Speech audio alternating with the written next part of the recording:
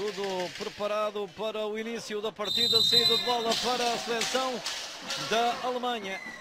Já com Smith. Bola para Paulo Cola Maria, já com apoio de pensamento e o golo! Paulo Cola Maria, defesa, a recarga e o golo! A um prim... Bola para Henrique Kumar, seria... E atenção, esta entrada de Paulo Cola Maria cai Kumar, atenção para o golo!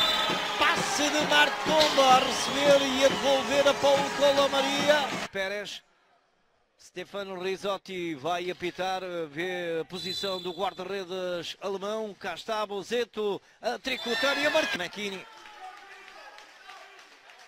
Alemanha a continuar a jogar com mais uma unidade e o golo.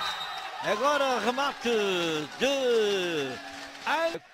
Tentar levar a bola para junto a baliza do guarda-redes Kins. Yannick Kins. Bola batida e o golo. Se vai apitar o árbitro francês e marca sobre McKinney. É pensamento, tem apoio de Giovanni, vai jogar e o golo! Traz bem, agora a tentativa de remate enrolado de Pesavento para um companheiro, novamente Pesavento, o que vai fazer é o sétimo da seleção italiana a. Lá está Liam Bozeto perante Ince a tentar e a marcar.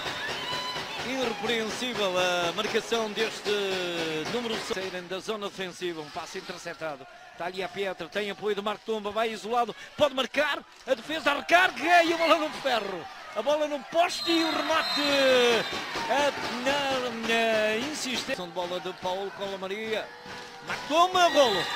Marca novamente Marco Tomba. Cobrava lá a Itália. E é desta forma que vai terminar o encontro. Vitória da Itália por 10 a 2. Cá está, final do jogo.